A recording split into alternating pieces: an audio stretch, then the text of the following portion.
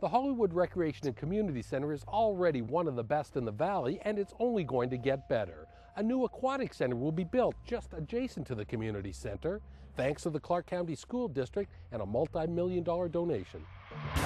I love the name Hollywood. Um, I just love what it represents, and I think it's going to be a beautiful, beautiful uh, addition to this community.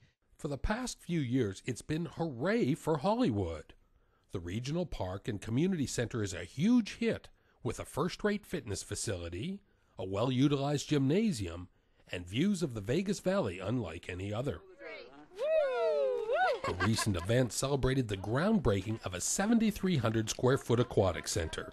The new complex will feature both indoor and outdoor pools. The Hollywood Aquatic Center will be one of the greenest in the country, built with mostly recycled and pre cut materials.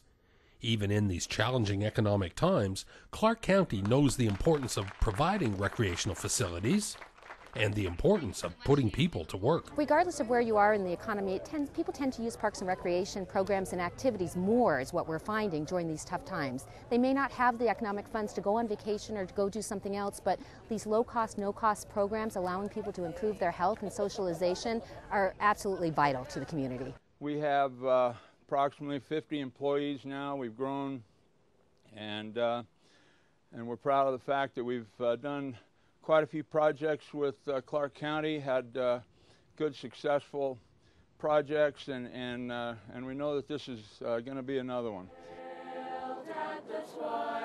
Las Vegas High and Iverson Elementary School are already a big part of the Hollywood community so these students will soon be singing the praises and taking swimming classes at the new aquatic facility.